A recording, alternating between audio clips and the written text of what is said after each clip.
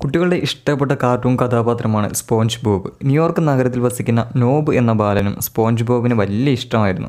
ഇഷ്ടം കൂടി കൂടി ബാലൻ ആമസോൺ വഴി അബദ്ധത്തിൽ ഓർഡർ ചെയ്തത്.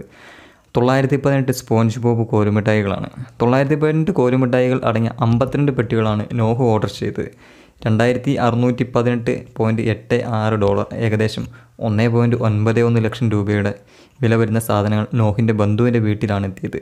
നോഹിന്റെ മാതാവായ ജെനിഫർ ബ്രൈന്റ് മകന് അബദ്ധം സംഭവിച്ച് ആമസോൺ അധികൃതരോട് വിശദീകരിച്ചെങ്കിലും അവർ പെട്ടികൾ തിരിച്ചെടുക്കാനാവില്ലെന്ന് അറിയിച്ചു ന്യൂയോർക്ക് യൂണിവേഴ്സിറ്റിയിലെ സിൽവർ സ്കൂൾ സോഷ്യൽ വർക്ക് വിദ്യാർത്ഥിനിയും മൂന്ന് കുട്ടികളുടെ മാതാവും കൂടിയായ ജെനിഫർ ഭീമമായ തുക എങ്ങനെ കണ്ടെത്തും എന്നറിയാതെ കുഴങ്ങി.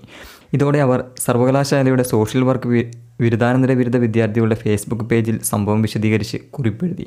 പോസ്റ്റ് ശ്രദ്ധയിൽപ്പെട്ട സഹപാഠികൾ ധനസമാഹരണ ക്യാമ്പയിന് തുടക്കം കുറിച്ചു. നോഹിന്റെ കോലുമിഠായികൾക്കുള്ള തുക ഇരുപത്തിനാല് മണിക്കൂറിനുള്ളിൽ പിരിഞ്ഞു കിട്ടി. നൂറ് പേർ പതിനഞ്ചായിരത്തി മുന്നൂറ്റി ആറ് ഡോളറാണ് സംഭാവന ചെയ്ത്. നോഹിന്റെ അശ്രദ്ധ പക്ഷേ കുടുംബത്തിന് വലിയ ആശ്വാസമായി മാറി. അധികം ലഭിച്ച തുക ഓട്ടിസം ബാധിച്ച നോഹിന്റെ വിദ്യാഭ്യാസത്തിന് മറ്റുമായി ഉപയോഗിക്കുമെന്നാണ് ബ്രെയിൻ പറയുന്നത്.